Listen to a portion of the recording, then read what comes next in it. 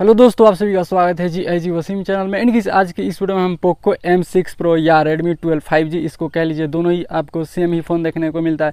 सो so, आज की इस वीडियो में इसका फुल डिटेल रिव्यू करने वाले हैं। ऑलमोस्ट 10 दिन यूज़ करते हो चुका है। इस यहाँ पे कैसा आपका एक्सपीरियंस रहेगा? इसमें कैसा कैमरा देखने को मिल जाए साथ ही इस यहाँ पे परफॉर्मेंस कैसा देगा? जो स्नैपड्रैगन का फोर जेन टू है वो गई एक्चुअल में कैसे रियल लाइफ में रिएक्ट करता है परफॉर्म करता है। सो so, सारी जानकारी इस वीडियो में देने वाले हैं। देखते रहिए वीडियो को एंड तक। एंड वीडियो अच्छी लगे तो ज़रूर से वीडियो को लाइक कीजिए। चैनल को सब्सक्राइब कर लीजिए। सो ज़्यादा टाइम वेस्ट नहीं करते हैं एंड वीडियो को शुरू करते हैं।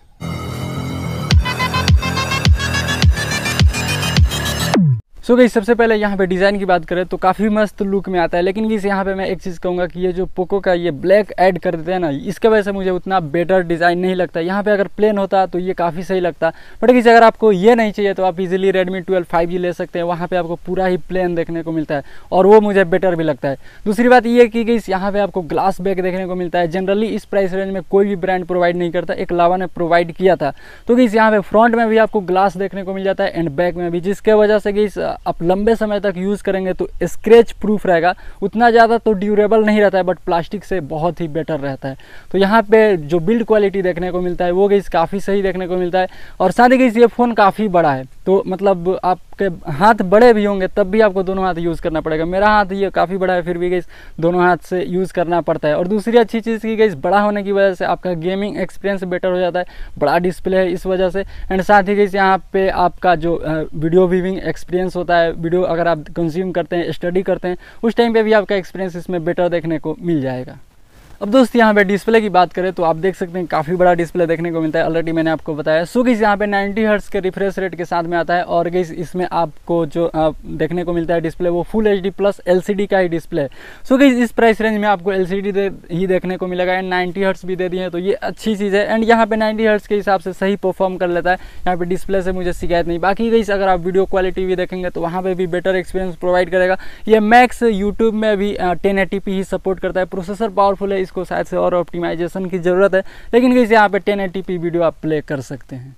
और गई दूसरी बात किया जाए तो यहाँ पे आपको मतलब इस प्राइस रेंज में कोई ब्रांड जल्दी आपको देखने को नहीं मिलेगा जहाँ पे पंच होल यूज़ करते होंगे। ऑलमोस्ट सभी जो टेन थाउज़ेंड के अंडर आते हैं, उसमें कैसे आपको नॉच ही देखने को मिलता है। बट इस फ़ोन में आपको पंच होल दिया गया है, जिसकी वजह से आपका व्यूविंग एक्सपीरियंस भी बेटर हो जाता है एंड देखने में भी फ़ोन काफ़ी ब्यूटीफुल लगता है फ्रंट से भी। और वहीं पर कैसे यहाँ पे फाइव का भी सपोर्ट देखने को मिल जाता है तो इस प्राइस रेंज में अंडर टेन थाउज़ेंड के अप्रॉक्स में ये रेयर हो जाता है। और ये मुझे काफ़ी सही लगा कि ये लोग ये काम किए। अब दोस्त, यहाँ पे सॉफ्टवेयर की बात करें तो वैसे कि इसमें मी का सॉफ्टवेयर चलता है? एंड किस यहाँ पे मैं क्लियरली कहूँगा कि इस प्राइस रेंज में मैंने एक फ़ोन टेस्ट किया था जो कि लावा का ब्लेज टू था।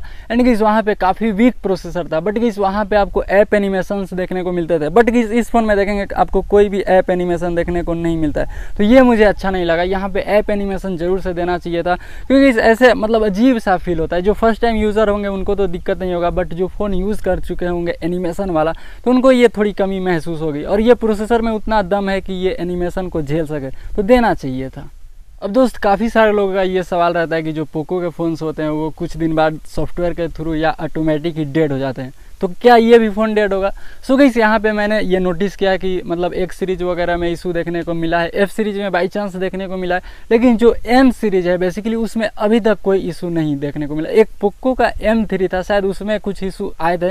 लेकिन उसके अलावा कोई भी फ़ोन आप देख लीजिए Poco M four pro M two pro जो भी है मतलब उनमें इशू नहीं आया। तो आई थिंक इसमें भी आपको इशू देखने को नहीं मिलेगा। एंड वैसे कि इस पोको वाले मतलब काम करते हैं, अगर आपका आउट ऑफ़ वारंटी भी रहता है और फ़ोन सॉफ्टवेयर के थ्रू डेड होता है तो वो कुछ हेल्प कर देते हैं। अपना मैं कहूँगा कि डेड का इशू इसमें मतलब ना के बराबर देखने को मिलेगा। अब दोस्त, यहाँ पे बात करते हैं कैमरा के बारे में। सो गई यहाँ पे वैसे आपको पीछे की तरफ़ दो कैमरा देखने को मिलता है। ऐसे आपको फील होगा कि तीन कैमराज हैं बट अनफॉर्चुनेटली यहाँ पे दो कैमरा देखने को मिलता है। एंड कई काम का एक ही कैमरा है।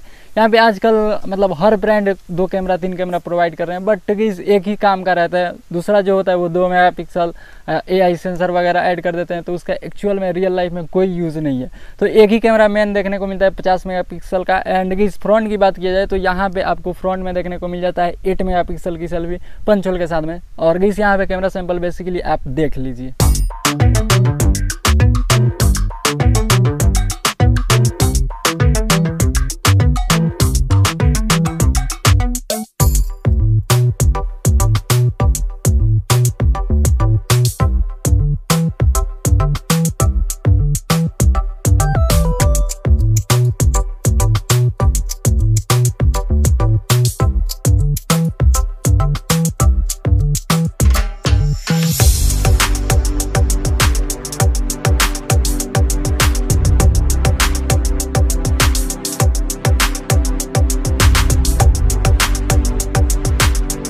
सो so यहाँ पे क्लियरली कह सकता हूँ कि इस प्राइस रेंज के हिसाब से इसका जो कैमरा है, वो काफ़ी अच्छा सैंपल आपको प्रोवाइड कर देता है एंड काफ़ी यूजेबल है। मतलब आउटडोर में अच्छी क्वालिटी अच्छी डिटेल प्रोवाइड कर देता है। बट इनडोर में अगर आप यूज़ करेंगे तो वहाँ पे लाइट के वजह से, थोड़ा कमी की वजह से कि उतना शार्प पिक्चर ये शॉट नहीं कर पाता है। तो ओवरऑल मैं कहूँगा कि इस प्राइस रेंज में ईजिली सेटिस्फाई कर देगा आपको।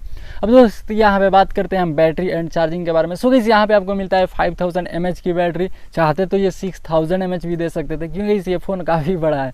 बट ठीक है भाई फाइव थाउज़ेंड की बैटरी एंड गाइस इसका बैटरी बैकअप भी लाजवाब है। इसका हमने बैटरी रन टेस्ट ऑलरेडी कर दिया है। Hundred to zero charging test भी एंड ज़ीरो टू हंड्रेड भी कर दिया मतलब दोनों कर दिए और गाइस यहाँ पे चार्जिंग के टाइम बेसिकली बता देता हूँ कि इसमें ढाई घंटे चार्जिंग लग जाते हैं। क्योंकि इस यहाँ पे आपको स्लो चार्जिंग देखने को मिलता है एटीन वाट का। वैसे इसको फास्ट चार्जिंग बोला जाता है।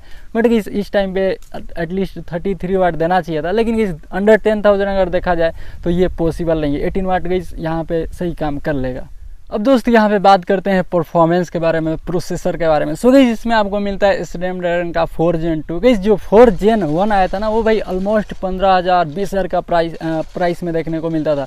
बट गई ये साओमी वाले रेडमी या पोको कह लीजिए ये गई प्रोवाइड किए आपको कितने? दस हज़ार के अप्रॉक्स में। यानी कि इस टाइम पर दस हज़ार का अप्रॉक्स में अगर अदर ब्रांड्स का देखें तो गई वो लोग क्या प्रोवाइड करते हैं? G eighty eight G thirty seven Unisoc का टी सिक्स वन सिक्स ऐसे मतलब बेकार से प्रोसेसर देखने को मिलता है। और उतने अच्छे आजकल ऑप्टिमाइज ऑप्टिमाइजेशन भी नहीं हो रहा है। यहाँ पे Realme C fifty five को हमने टेस्ट किया था।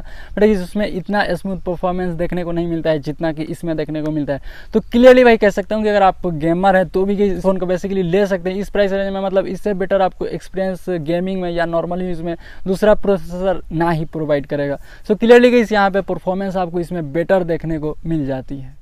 और दोस्त, एक एडवाइस मेरी तरफ़ से ये रहेगी कि अगर आपको गेमिंग के लिए ये फ़ोन लेना है तो मैं आपको रिकमेंड करूँगा कि जो हायर वेरिएंट है, यानी कि six G B RAM one twenty eight G B storage है, वो ही बाई कीजिएगा। क्योंकि इस मैंने रिसेंटली नोटिस किया कि Realme C fifty five भी मैंने बाई किया था four G B RAM sixty four G B वाला वेरियंट एंड कि उसमें मैं गेमिंग भी किया एंड नॉर्मल यूज़ में भी बहुत ही ज़्यादा जीटर्स लैग्स टाइप में देखने को मिलते थे। बट कि रिसेंटली मैंने eight G B one twenty eight G B वाला परचेज किया एंड इसके साथ वैसे कंपेयर भी किया है तो वो वीडियो आप चेकआउट कर सकते हैं। तो कि मैंने नोटिस किया कि उसमें अच्छा परफॉर्मेंस देखने को मिलता है।